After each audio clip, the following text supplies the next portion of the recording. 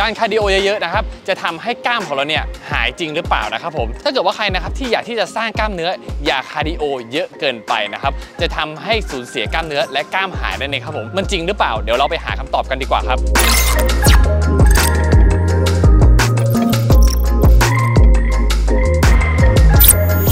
ต้องขอตอบตรงๆเลยนะครับว่า จริงครับผม เพราะหากเรานะครับมีการคาร์ดิโอหรือมีการ burn เยอะจนเกินไปนะครับจะทำให้ร่างกายนะครับเกิดสภาวะแคลอรี่เดฟ i ซิ t มากเกินไปนั่นเองครับผมยกตัวอย่างเช่น หากคุณนะครับมีการกินอาหารเข้าไปอยู่ที่ 2,000 กิโลแคลอรี่ต่อ 1 วันนะครับผมและมีการคาร์ดิโอเพิ่มอีก 1,000 กิโลแคลอรี่นะครับทำให้มีการใช้พลังงานรวมทั้งหมดต่อ 1 วันเนี่ยอยู่ที่ 3,000 กิโลแคลอรี่นะครับผมแสดงว่าร่างกายคุณเนี่ยเกิดสภาวะแคลอรี่เดฟ i ซิ t ทำให้แทนที่คุณนะครับจะสามารถที่จะสร้างกล้ามเนื้อให้ใหญ่ขึ้นได้นะครับผมกลับกลายเป็นว่าน้ำหนักและไขมันของคุณนะครับลด แทนนั่นเองครับผม เพราะคุณนะครับมีการกินน้อยกว่าใช้ หรือใช้มากกว่ากินนั่นเองครับผม ซึ่งการติดลบ 1,000 กิโลแคลอรี่เนี้ยมันอาจจะเยอะมากจนเกินไปสำหรับคนที่มีเป้าหมายที่อยากสร้างกล้ามเนื้อนั่นเองครับหากร่างกายของเรานะครับโดนใช้พลังงานมากเกินไปนะครับร่างกายของเราเนี่ยก็จะดึงเอาโปรตีนในร่างกายของเรานะครับที่มีหน้าที่ในการสร้างกล้ามเนื้อเนี่ยมาใช้เป็นพลังงาน ในการทำการคาร์ดิโอหรือว่า burn นั่นเองครับซึ่งหากโปรตีนที่ถูกดึงออกมาเนี่ยแสดงว่าร่างกายของเราเนี่ยก็จะไม่มีโปรตีนที่ไปสร้างกล้ามเนื้อนั่นเอง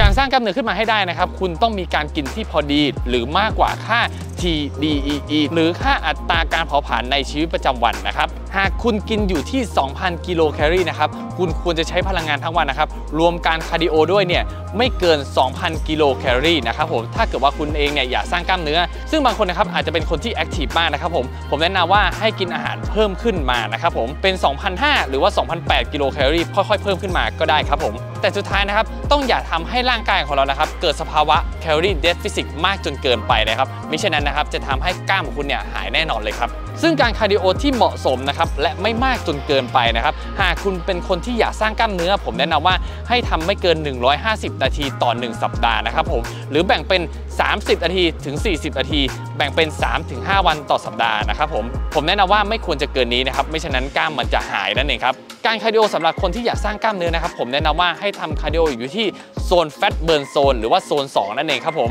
ไม่เกินโซน 3 เพื่อที่จะรักษามวลกล้ามเนื้อ และลดไขมันไปด้วยกันนั่นเองครับผมซึ่งสิ่งสำคัญในการสร้างกล้ามเนื้อนะครับก็จะมีอยู่หลายปัจจัยนะครับไม่ว่าจะเป็นเรื่องของอาหาร การเล่นที่ถูกต้อง โปรแกรมการเล่นที่ถูกต้อง การพักผ่อนนะครับผมซึ่งปัจจัยพวกนี้นะครับก็จะทำให้คุณเนี่ยสามารถที่จะสร้างกล้ามได้เร็วขึ้นนั่นเองครับผมซึ่งทุกคนนะครับสามารถที่จะเอาคำแนะนำที่ผมบอกไปเมื่อสักครู่นี้นะครับลองเอาไปปรับใช้กันได้เลยนะครับผมผมรับรองว่ากล้ามของคุณเนี่ยจะขึ้นเร็วแน่นอนครับ ซึ่งบางคนนะครับอยากที่จะสร้างกล้ามเนื้อ แต่ก็ยังไม่สามารถที่จะสร้างได้สักทีนะครับผมผมก็แนะนำว่าให้ลองเข้ามาปรึกษาเรานะครับผมแต่ที่สำคัญนะครับผมบอกได้เลยว่าผมมีโปรโมชั่นพิเศษนะครับผมคอร์สพิเศษเนี่ยที่จะเปลี่ยนแปลงรูปร่างของคุณเนี่ยได้แน่นอนครับนั่นคือคอร์ส Burn and Gain นั่นเองครับผมซึ่ง 36 ครั้งนี้นะครับคุณสามารถที่จะเปลี่ยนแปลงจากอีกคนหนึ่งไปเป็นอีกคนหนึ่งได้แน่นอนครับ